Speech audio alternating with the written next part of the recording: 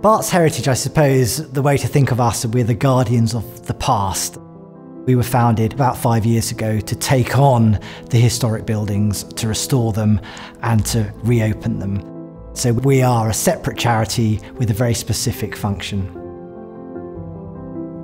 The Grade 1 listed buildings here at St Bartholomew's Hospital, which includes the North Wing and the Henry VIII Gatehouse, are some of the most important monuments in the country.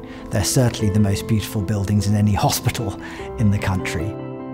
We have to make sure that the architecture is properly repaired and conserved, and the art, which is all around us, is beautifully and carefully brought back to life.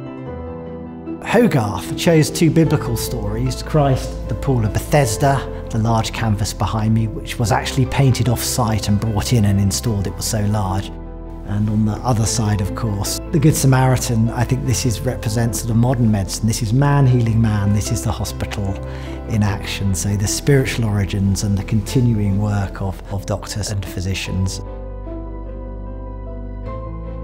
Very important architect called James Gibbs came to Barts as a governor and offered his services for free to redesign, to modernise the hospital. The first building that the governors decided to put up was a grand hall where they could invite the city wealthy in to see the good work that was being done. So the idea was you would come to this building, you would come up this magnificent staircase, walk into the Great Hall.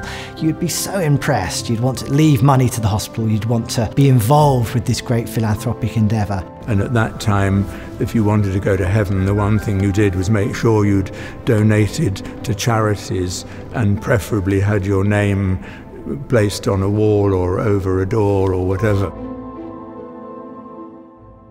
This restoration project involves stabilising the fabric of the building first of all. The roof needs a lot of work, there's water ingress, there's issues that if we don't tackle soon are going to cause major problems to the building itself. There's the stonework, the windows, the doors, and it requires the very best craftsmen to carry out that work.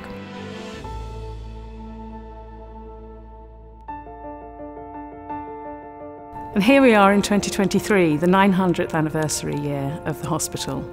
And I'm delighted to say that the spirit of philanthropy has lived on and helped us to reach our fundraising target of £9.5 million for the first tranche of works. Over half of this has come from the National Lottery Heritage Fund and other grants from charitable trusts, city funders and really generous gifts from individual donors, many of whom have really close associations with Barts. So we can begin work on site to restore the building, but also to introduce the programme of wellbeing activities in collaboration with the hospital and the public programme of events. Whilst we have a really big conservation project ahead of us, we don't want to do this behind closed doors. We want to do this alongside the public.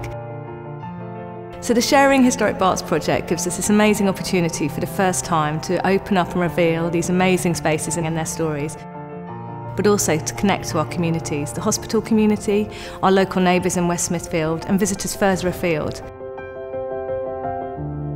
Thinking about how can these spaces that are at the heart of this working hospital play a better role at nurturing and supporting staff, particularly at the times we've had recently.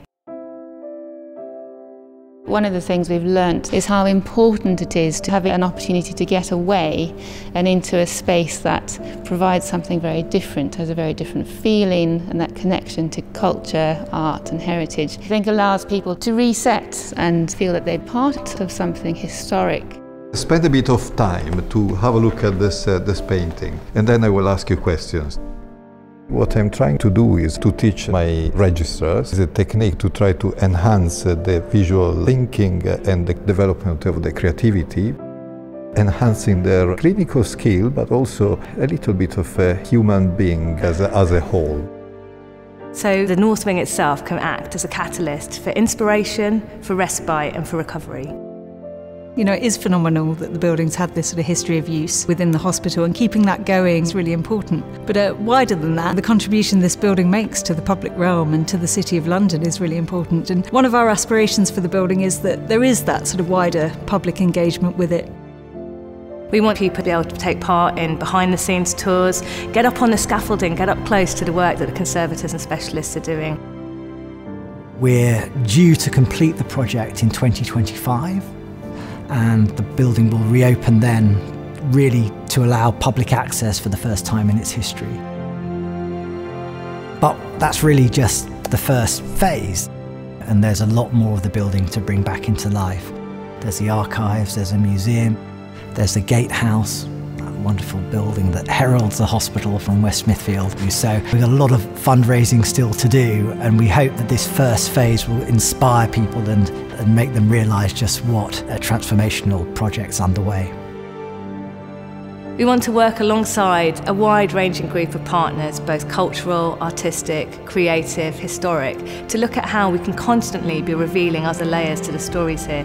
That continuity of care for 900 years on the same site is obviously unique. And what's so amazing is that we have the records of so much of that story. Deeds from the medieval period, governor's minutes from the 16th century onwards, we've got objects, paintings, and uniforms there's still a huge amount of, of, research to be done and new stories to be drawn out and actually the Shared Heritage Project is an opportunity to unpick some of those stories which haven't been researched before. The identity of Barts is in these spaces.